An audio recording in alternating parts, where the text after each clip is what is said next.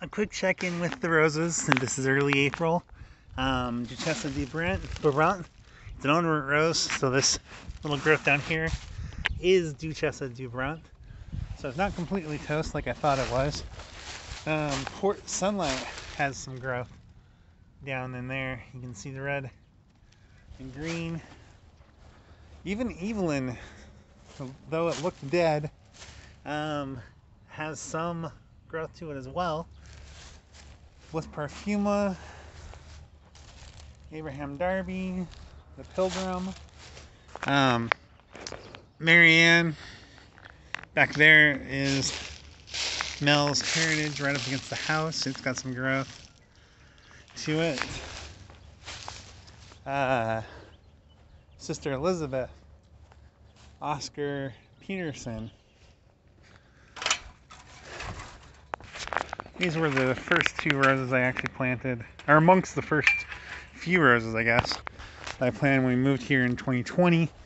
Um, this is Monsieur Tillier. It does not show any sign of growth, but we will leave it and see.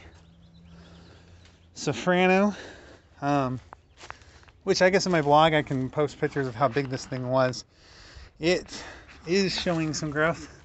Again, it is an owner roses, so that is Safrano. Um,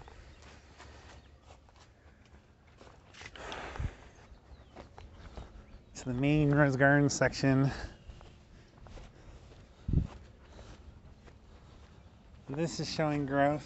My dog dug up the rose that was there. This one's doing fine.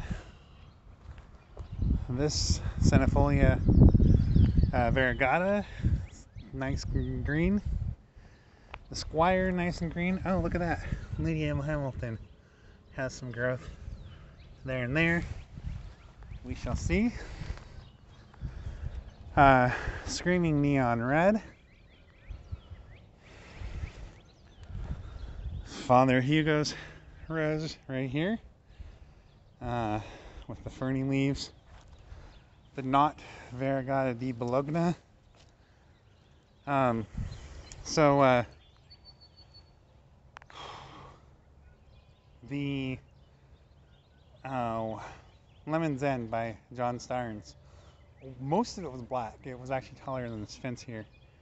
And this is what's left of it. This is what's left of my five foot tall Abraham Darby.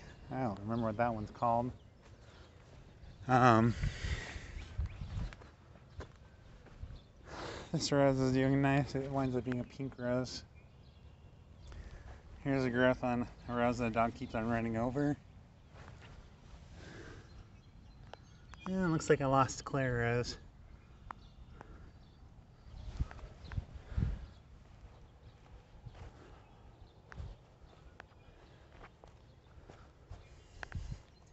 This is another Marianne by Paul Barden. It's doing well. William Morris. It's right here. Um, this is uh, Frau Karl Druschki. Uh, Tuscany Superb with all its suckers that are nice red. This is Tuscany Superb as well. Desiree Parmentier. Parmentier. Oh, I don't speak French. I do apologize for mispronouncing that. Um, the lime, the lighter green. This is Bliss Parfuma. Um, Sister Elizabeth again.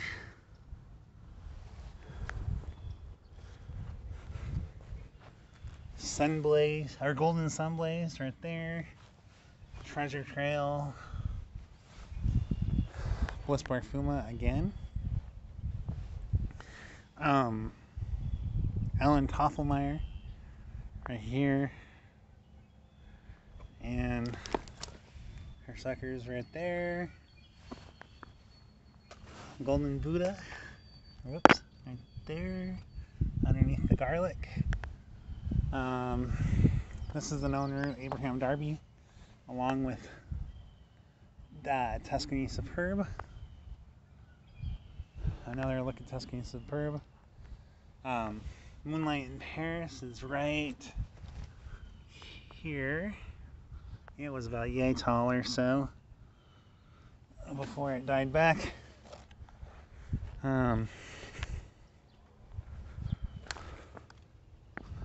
we're gonna go the other side.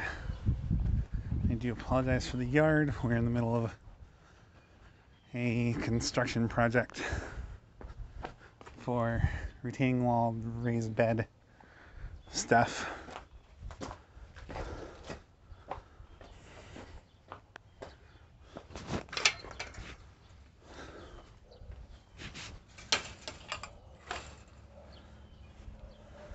So this is Westerland, which I uh, bought and planted beginning of March.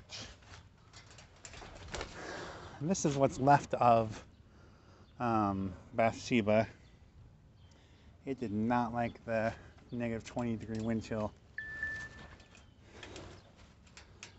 This is Desdemona, another pink rose.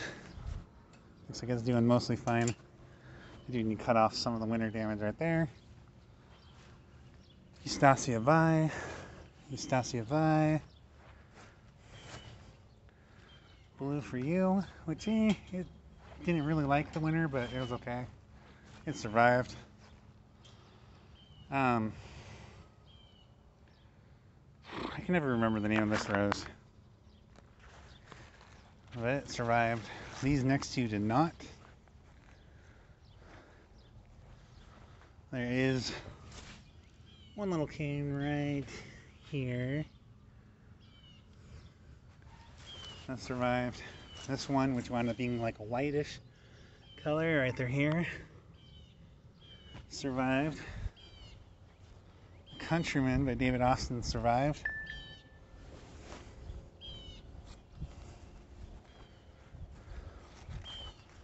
Lady of Shalott. Right here, survived. Tottering by Gently or Tottering Gently by or whatever it's called survived. Another one of a David Austin, Charles de DeMills, and Heritage. So by waiting until April to start cutting back dead growth, I saw that uh, Duchessa de Brabant survived and Safrano. Um, so I didn't cut off any of their canes that may have had small stuff, but I'm still working on removing all the dead stuff. And that should be done probably in the next few weeks or so. And thank you for your time and have a good day.